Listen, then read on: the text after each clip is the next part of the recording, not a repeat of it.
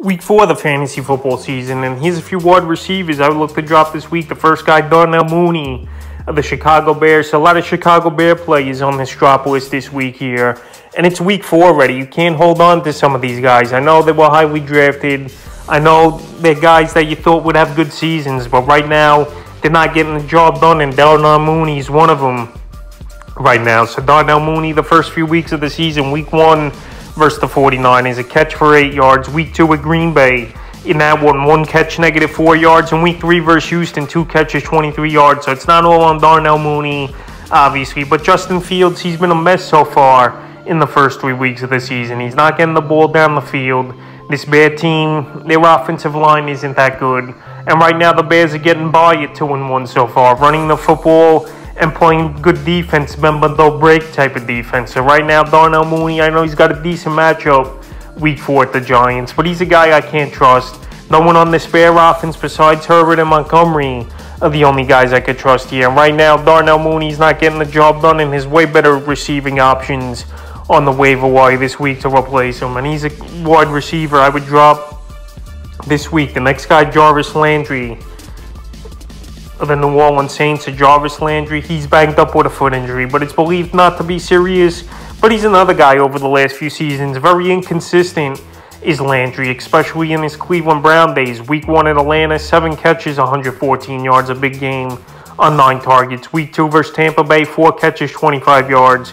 And week three versus the Panthers, two catches, 22 yards. So right now, week four in the London Bowl game versus the Minnesota Vikings, a pretty decent matchup where I think Landry could make some plays and get things going. But he's a guy that's up there in age now, latter part of his career, and this is Saint offense is just too inconsistent. Jameis Winston, we've seen him do this time and time again, where he just does nothing the first few quarters, and then garbage time in ball games is where he gets his numbers when he was on the Tampa Bay Buccaneers, and he's doing the same thing here with the same team. But Landry, he's going to have some good weeks and he's going to have some bad weeks. But right now, like I said, wide receivers a deep position.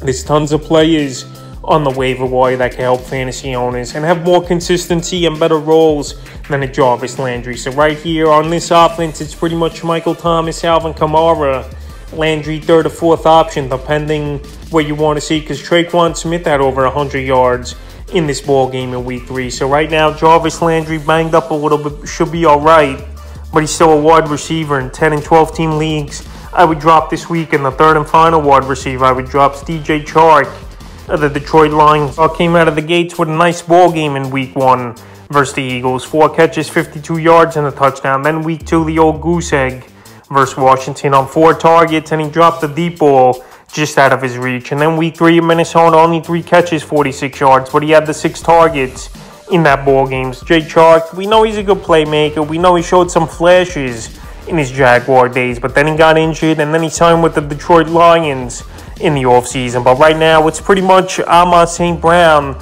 they're targeting, and TJ Hockenson is the top two targets, and then spreading it out to Josh Reynolds or Kalif Raymond over there in Detroit. So right now, it's pretty much those top two guys, like I mentioned, and the rest of the guys, they're getting broken up into targets from Jared Goff. But Jared Goff, he's looked pretty decent so far in the first three weeks. But DJ Chark's not a guy right now doing much for fantasy owners.